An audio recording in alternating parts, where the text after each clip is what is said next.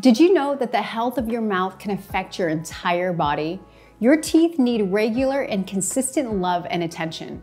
We put them through a lot of wear with three meals a day, snacks, and more, so they deserve the best care. With your Medicare Advantage plan from Premera Blue Cross, you have access to extensive dental care benefits for any situation.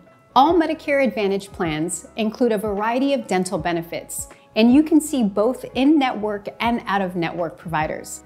But let's take a closer look at your in-network benefits. You have access to preventive dental care services like cleanings, fluoride treatments, x-rays, and exams. Other covered in-network dental care includes dentures, corrective services, periodontal services, and more. Eligible dental services are paid 100% up to the annual maximum when you see an in-network provider. However, you can still receive benefits from out-of-network dental providers, but you may need to pay an additional cost of care above what is covered. Maintaining preventive dental care is a cornerstone of overall health. Keeping your teeth happy and clean through the years is as easy as using your dental care benefit from your Premera Blue Cross Medicare Advantage plan.